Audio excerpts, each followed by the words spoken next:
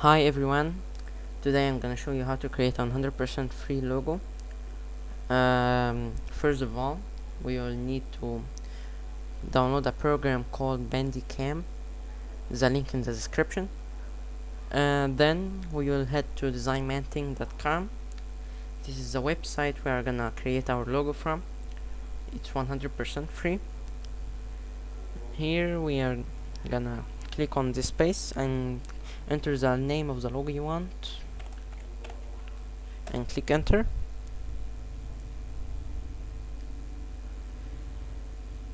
Here's the logo page here. And you can check more logos here from you can serve these pages on. Now we are gonna choose any type of logo here. Mm, we'll choose this and click select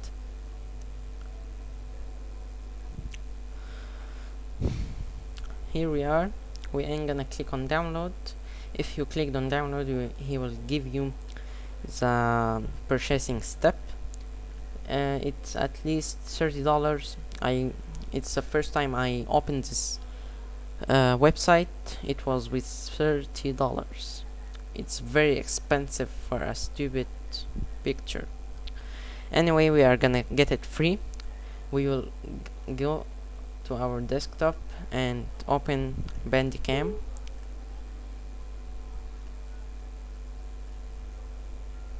Here we are. We are gonna click on target and then on a rectangle on a screen. He will give you this window. We are now heading to our website and customize its size here and click on image capture now you got your free logo.